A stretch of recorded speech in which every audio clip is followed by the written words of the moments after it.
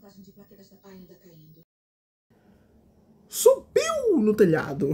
O programa Viva a Sorte ainda não tem data confirmada na Band, mas se tiver, logo logo eu trago uma atualização para vocês, fica tranquilo.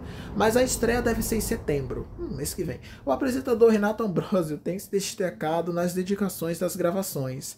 Ele é carismático, né? Já viu uma propaganda dele que ele tá com a Galisteu, né? É carismático, mas programa dele vai ser só uma divulgação da, da empresa dele, né? Enfim, não tem nada de novo, né? Se, for, se fosse pelo menos isso, né, Vasco? Com conteúdo novo, sei lá, tipo, ele divulga os negócios dele, mas sei lá, um programa de entrevistas, de empreendedorismo, alguma coisa assim, sabe? Mas ali é só para divulgar as marcas dele, sabe?